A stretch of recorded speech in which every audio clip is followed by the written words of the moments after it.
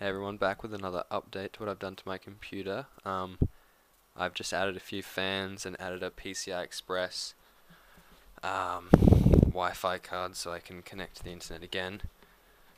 So I've added one of the stock XSPC fans that come with the RS360 kit and another uh, XLF1256 that I had left over which is the same as this one at the back. I just cut the LEDs off just because I thought, um, I don't know, I might put that one back where that one is because I kind of like the LEDs now and I have a massive 2 meter LED strip coming so and temperature wise it's now winter so temperatures are really good at the moment.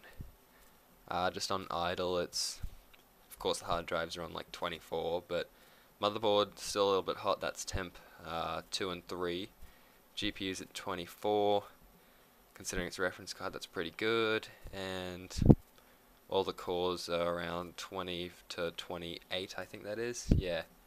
So averaging out about 25 26 degrees.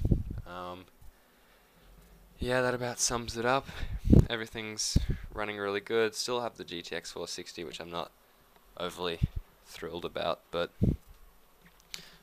might get a lights off shot because that LED at the top looks pretty cool as well so you can kind of see that's the white LED at the back uh, the power LED, the blue LED from the reservoir, and around the side is the UV lighting and the back LED, soon to be more LEDs, but yeah. And the top. So yeah, looking pretty good. Temperatures are awesome at the moment, and yeah.